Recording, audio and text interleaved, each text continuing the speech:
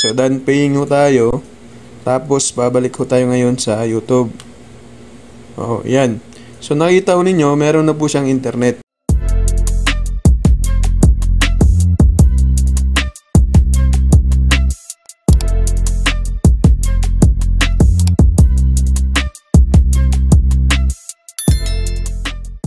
Magandang araw po sa ating lahat mga kaibigan.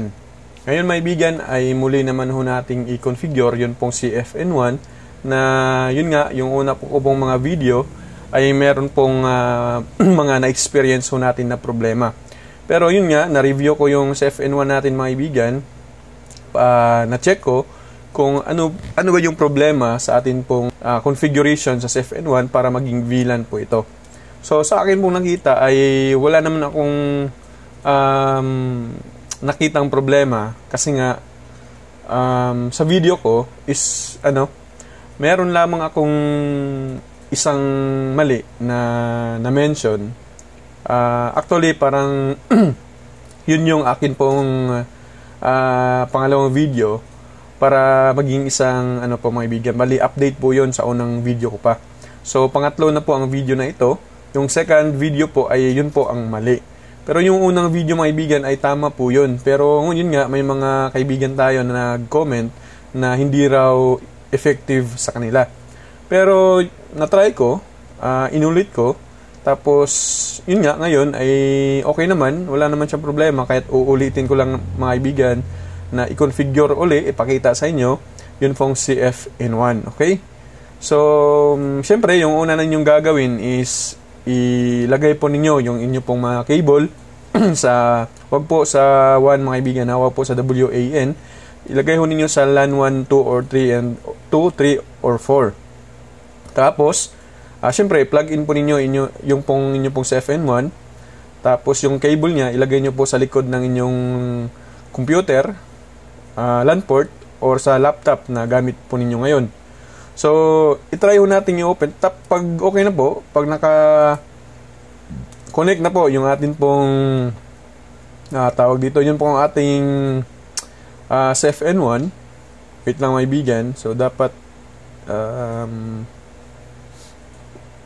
Okay, so pag nakakonect na ho tayo dun po sa atin pong uh, CFN1, so i-try ho nating i-type yung kanyang IP address 192.168.0.1 tapos click lang natin. Kapag uh, okay naman nakapasok naman ho tayo uh, wala naman siyang problema eh diretso tayo maibigan sa atin pong username or password. Pero pag na-experience ninyo na ayaw po mag-login or hindi po mag-pop up yung kana pag nag-type po tayo ng kanyang IP address ang gagawin nyo lang is pupunta ko kayo dito tapos yung uh, internet, sundan nyo lamang po i-change adapter uh, change adapter options tapos sa internet mga kaibigan click right tapos properties tapos scroll down hanapin po niyo ang internet protocol version 4 tapos click po yan tapos properties okay so properties tapos use the follow, following IP address click yan tapos IP address ilagay lang po ninyo 192.168.0 uh, 2. Ayan. Tapos, click po niyo dito sa subnet mask. Automatic po yan mga kaibigan. Tapos, click OK. Okay, tapos close. Uh, close lang natin. So, ayan. Pag tapos na, so ulitin natin 192.168.0.1. So, again, mas maganda kung ganun para dire-diretso ho tayo, wala pong sagabal. Uh, pag okay na, click lang yung default username and password is admin din. So, click login.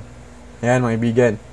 So, first steps, or first step natin gagawin, ay dito po sa setup wizard. Ayan. So, dito sa setup wizard, click lang po nyo next. Huwag na po ninyong galawin po dito. Okay, DHCP po yan. Click next. Tapos, dito naman, wala na po kayong gagalawin po dyan. Tapos, click next. Uh, dito sa SSID, syempre, papalitan natin ng pangalan yan. So, lalagyan lang natin mga ibigan ng ano, SSID. Yung pangalan is VLAN Piso Wi-Fi, okay? So, syempre, hindi na po tayo maglalagay pa ng password. Kasi nga, yan po silbi yung atin pong access point. Okay, so click next. Yan. Tapos, click done. Yan. So, settings uploaded. Okay na po yan mga ibigan. Next natin gagawin is, okay, nag-refresh pa yung ating, ano. Mm, okay, so next natin gagawin mga ibigan is dito po sa, uh, check lamang natin ulit yung ating pong, ano, uh, setup wizard. Next, next. Okay, okay na po yan. So, pupunta ho tayo dito sa network, mga ibigan. So, sa network, um, i-click lang natin itong VLAN setup. Okay, so dito sa VLAN setup, i-click lang mang itong add. So, click add. Tapos, dito sa VLAN ID, ilalagay po ninyo kung ano pong software ang gamit ho ninyo. For example po, maibigan, kung gagamit ho tayo ng uh, LPB, ang VLAN ID ng LPB is 13. Kapag gagamit naman ho tayo ng Easy Wi-Fi is 88. Yan, yan yung VLAN ID ng Easy Wi-Fi. Sa ibang uh, software, hindi ko alam, i-research na lamang po kung ano po ang gamit ninyo. Uh, as of now, gagamitin ko lamang po itong 13 LPB kasi yan po naka-reflash sa akin pong SD card. So, sa IP address, ilagay lang po ninyo 192 uh, dot um, dot 0 dot dot 1, 2, 3. So, sundan nyo lamang po yan mga ibigan. Tapos dito sa ports, kung saan po ang gusto nyong lagyan ng um, ang port na yan, kung saan nyo po i-check, kung i-check nyo po yan, so konektado po yan sa villa natin. So, i-check lang po natin lahat. Tapos, click save. Okay, so network conflict. Kung conflict po yung ano, network maibigan, IP address, is lagyan po natin ng 1. 192.168.10.123. Okay? So, click save. Ayan. So, okay na po siya. So, babalik po tayo dito sa one settings. Okay? So, sa one settings, ayan. Uh, wala na po tayong gagawin sa, ano, ga, wala na po tayong gagalawin pala dito sa one settings. I-check lang natin yung LAN settings. Okay na po yan. So, sa DHCP, i-click lang ang DHCP mga ibigan. So, dito mayroon tayong babaguhin sa DHCP. So, sa LAN, uh, DHCP server is wag po ninyo itong i-disabled. Ito po yung sinasabi ko sa next, uh, second video ko maibigan na ginawa ko po ay ni-disable ko po yan. Hindi pala ang DHCP na ito yung atin pong i-disabled. So, i-click lang po ninyo itong VLAN 1. Ito po yung i-disable do natin. So, ayan. I-disable po ninyo yan. Tapos, click po itong save. Okay, so pag okay na po yan, check ko natin ulit. So, itong DHCP sa labas, yung LAN is server po yan. Disable po yung VLAN 1. Okay, so yung ating gagawin next is dito po sa Wi-Fi setup.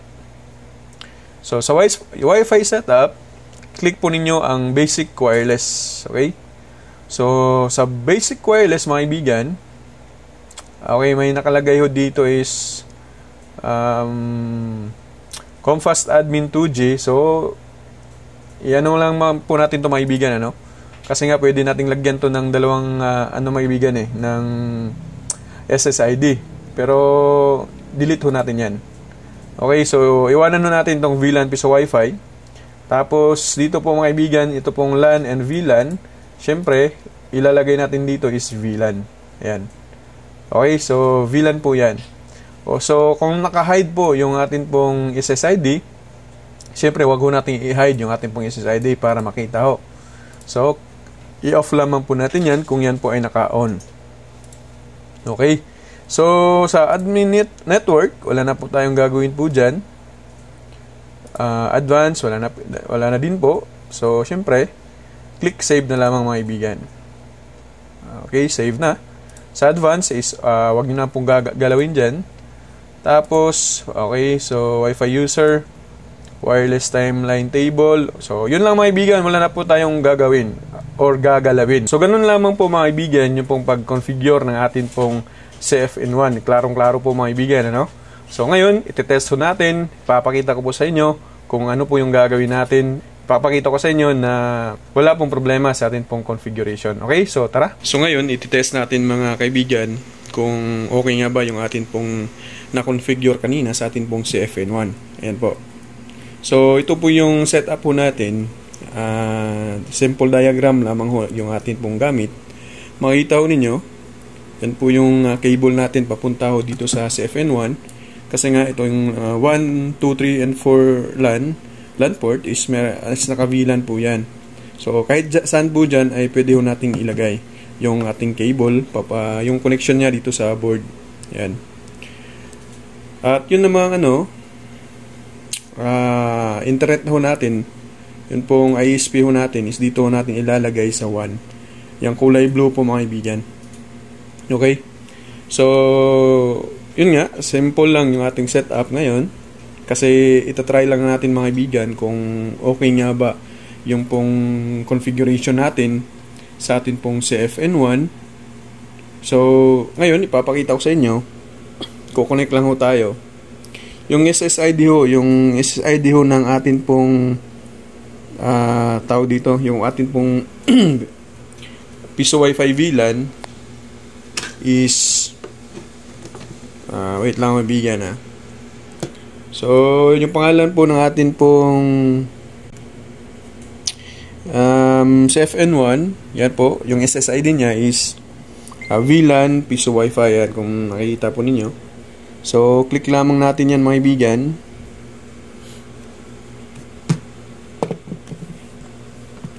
Ayan po, connected na ho tayo sa VLAN sa Wi-Fi. So, kung hindi mag-pop up yung kanyang uh, sign in, so, syempre, pupunta tayo sa um, 10.0.0.1. Okay, so wait lang natin saglit.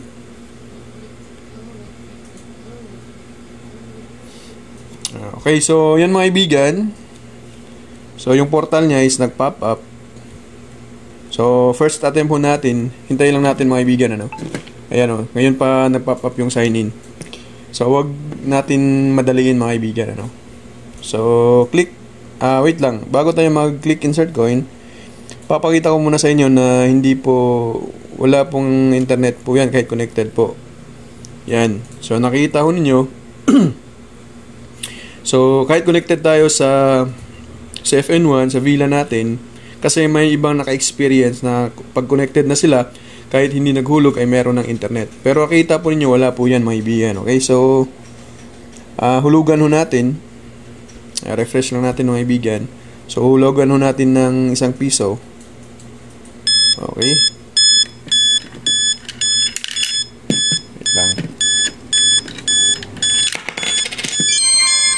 Ayan mga ibigan. So done paying ho tayo. Tapos babalik ho tayo ngayon sa YouTube. Oh, yan. So nakita ho ninyo, meron na po siyang internet. Di ba? So, ayan.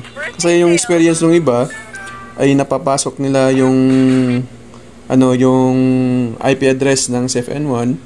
So, yun nga, yun nga yung tamang configuration ng atin pong CFN1 para magiging successful ho tayo mga kaibigan. So, ayan. So, kung gusto niyo naman na lagyan ng isa pang access point sa LAN 1, 2, and 3, uh, ilagay niyo ninyo is TP-Link din. Yun ding may VLAN setup.